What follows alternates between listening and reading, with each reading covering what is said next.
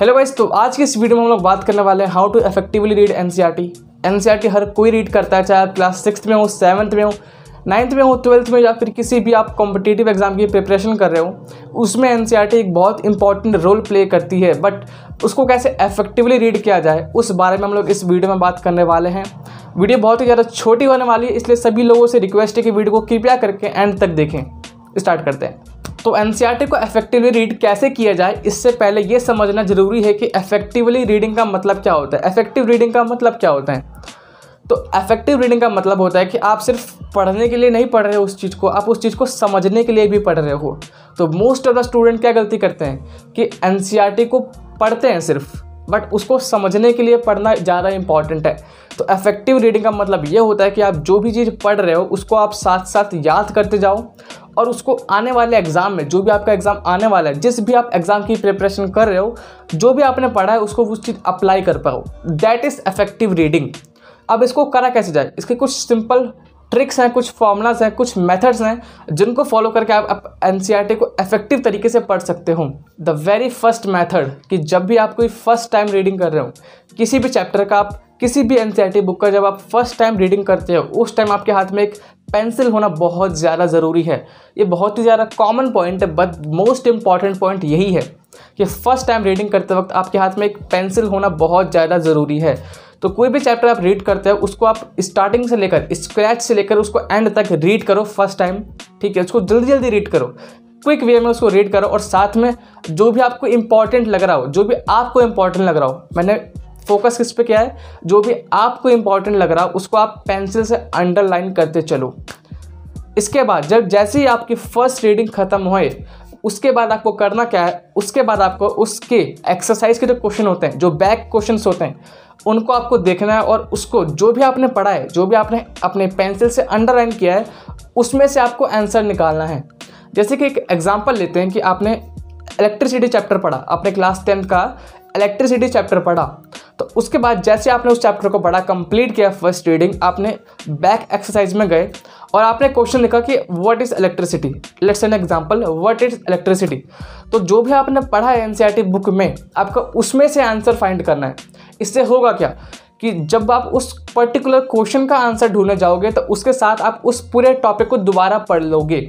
तो ऐसे करते करते जब आप हर एक क्वेश्चन का आंसर अपनी एन में से पढ़ोगे तो ऐसे करते करते आपकी उसी चैप्टर की सेकेंड टाइम रीडिंग हो जाएगी अपने आप। क्योंकि इस पॉइंट ऑफ़ टाइम तक आपने दो रीडिंग ऑलरेडी कर चुकी है, साथ में आपको ये भी पता लग चुका है कि एन से क्वेश्चन कहाँ से फ्रेम होते हैं। तो अब आपको पता है कि कौन से पॉइंट इंपॉर्टेंट है, कौन से पॉइंट इंपॉर्टेंट नहीं है। तो आपको अब हाईलाइटर से उन सारे इंपॉर्टेंट पॉइंट्स को हाईलाइट करना है। हाईलाइट करते वक्त एक इंपॉर्टेंट चीज़ मैं आपको बताना चाहता हूँ कि अनवांटेड कीवर्ड्स को हाईलाइट मत करना। जैसे कि वॉट फॉर द ऐसे वर्ड्स को हाईलाइट करने से बचना बिकॉज़ इसका इतना इंपॉर्टेंस नहीं है। आपको हाईलाइट सिर्फ़ उन वर्ड्स को करना जो कि मेन की वर्ड्स हैं, है ना? उस टॉपिक के जो भी मेन डेफिनेशन है या फिर जो भी मेन फॉर्मूलाज है, जो भी मेन टर्म्स हैं, उनको आपको, उन कीवर्ड्स को आपको हाईलाइट करना है। ताकि आप एक मंथ बाद, दो मंथ बाद, या फिर बहुत दिनों बाद जब आप उस दोबारा चैप्टर को पढ़ो तो आप सिर्फ़ वो हाईलाइटेड पॉइंट ही पढ़ो, ताकि आपको वो चैप्टर दोबारा पूरी तरह से रिवाइज हो जाए। तो अभी तक हमने बात करी कि एन e को कैसे इफेक्टिवली पढ़ा जाए बट किसी भी चीज़ को, किसी भी टॉपिक को, जो भी आप टॉपिक पढ़ रहे हो, उस टॉपिक को पढ़ने के पीछे आपकी अप्रोच क्या होनी चाहिए, उस बारे में बात कर लेते हैं।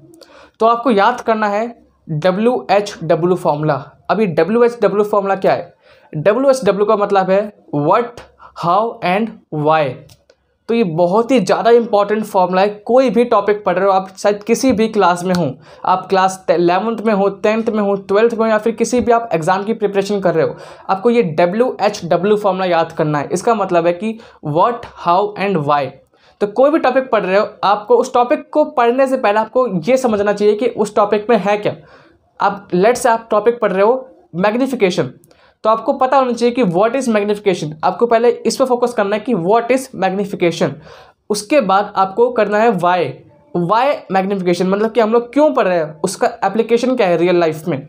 उसके बाद हाउ कि हम लोग कैसे इसको यूज़ करते हैं? कोई भी सब्जेक्ट पढ़ रहे हो, किसी भी क्लास का पढ़ रहे हो, आपको ये जो फॉर्मूला है डब्ल्यू एच डब्ल्यू इसको हर टॉपिक पे अप्लाई करना, ये हर टॉपिक पे फिट बैठता है। उस टॉपिक का मतलब क्या है? व्हाट उस टॉपिक को क्यों पढ़ रहे हैं? वाई और उस टॉपिक को किस लिए पढ़ रहे हैं? या फिर कैसे वो यूज़ होगा? हाउ तो इस पॉइंट ऑफ़ टाइम तक हमने सारी बातें कर ली कि एन को कैसे इफेक्टिवली रीड किया जाए। और मैंने आपको एक इंपॉर्टेंट एक सीक्रेट फॉर्मूला भी बता दिया। बट अब बात करते हैं कि एन को जो भी आपने पढ़ा है, उसको कैसे रिटेन करें? मतलब उसको कैसे लंबे समय तक याद रखें? तो उसके लिए मैंने आपको बताता हूँ एक शॉर्ट नोट्स फॉर्मूला आपने जो भी पढ़ा है, जो भी चैप्टर आपने पढ़ा है, उसको अगर आप एक से दो पेज में समराइज कर सकते हो तो आप उसको लंबे समय तक याद भी कर सकते हो। जैसे मैं आपको एग्जांपल दिखाता हूँ। जैसे ये क्लास ट्वेल्थ फिजिक्स का chapter number six electromagnetic induction है। तो जब मैंने अपने टाइम में प्रिपरेशन करा था तो मैंने हर एक चैप्टर को एक या दो पेज में समराइज़ कर दिया था। जैसे आप यहाँ पे एग्जांपल देख सकते हो इस चैप्टर में तो ये इलेक्ट्रोमैग्नेटिक इंडक्शन का चैप्टर है और इसको मैंने सिर्फ़ एक से दो पेज में, जो डबल पिन वाला पेज होता है, उसमें मैंने पूरे चैप्टर को समराइज़ कर दिया था। तो इससे क्या होता है कि जो भी मेन कीवर्ड्स है या फिर जो भी उसमें कोई मेन थ्योरम है, कोई मेन डेफिनेशन है या फिर कोई मेन फॉर्मूला है, उसको हमें इस एक से दो पेज में समराइज़ करना है। अब अब पूरा चैप्टर को समराइज करने के लिए आपको सिर्फ़ कीवर्ड्स को ही समराइज करना पड़ेगा, क्योंकि अगर आप पूरी पूरी डेफिनेशन लिखोगे तो दो पेज में आप समराइज उसको नहीं कर सकते हो। तो समराइज करने का फॉर्मूला क्या है कि जो भी टॉपिक अब जो भी चैप्टर आपने पढ़ा है, उसमें मेन कीवर्ड्स मेन डेफिनेशन या फिर कोई मेन मोस्ट इंपॉर्टेंट फॉर्मूला है उसको ही आपको नोट करना है। तो मान लो कि अगर आपको एक से दो महीने बाद उस चैप्टर को रिवाइज करना है तो आप क्या करोगे? आप उस इन शॉर्ट नोट्स को, जो आपने एक से दो पेज में शॉर्ट नोट्स बनाए थे, आप इनको देखोगे। अगर आपको सारे पॉइंट्स माइंड में याद आ जा रहे हैं कि जो भी आपने लिखा है, आपको वो दोबारा याद आ जा रहा है।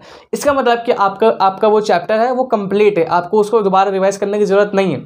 बट अगर इन शॉर्ट नोट्स में जो भी आपने पॉइंट्स लिखे हैं, आपको, अगर आप इनको रिटेन नहीं कर पा रहे हो, अगर आप इनको याद नहीं कर पा रहे हो तो आप उस पर्टिकुलर टॉपिक को अपने एन से दोबारा रीड कर सकते हो। तो ये तरीका होता है किसी भी टॉपिक को, किसी भी चैप्टर को लंबे समय तक याद रखने का। तो आज की इस वीडियो में इतना ही। अगर आपको वीडियो पसंद आई तो प्लीज़ लाइक कर देना। आपको लाइक करने में सिर्फ़ एक सेकंड लगता है। तो प्लीज़ अगर आप मेरी मेहनत को अप्रेस करना चाहते हो तो प्लीज़ आप एक लाइक कर देना। और अगर आप पहली बार चैनल पर आओ चैनल को सब्सक्राइब भी ज़रूर करना, क्योंकि सेवेंटी एट परसेंट से ज़्यादा ऑडियंस जो कि मेरी वीडियो को देखती है, उन्होंने अभी तक इस चैनल को सब्सक्राइब नहीं किया है। तो अगर आपको कंटेंट पसंद आ रहा है तो प्लीज़ आप सब्सक्राइब कर सकते हैं ताकि मुझे भी पता लगेगा कि मैं ऐसे अच्छा कंटेंट इन फ्यूचर बनाऊँ। और इस वीडियो को अपने सारे दोस्तों के साथ शेयर भी ज़रूर करेगा ताकि उनका भी बेनिफिट हो, उनको भी फ़ायदा हो। तो आज की इस वीडियो में इतना ही। जल्दी मिलते हैं नेक्स्ट वीडियो में।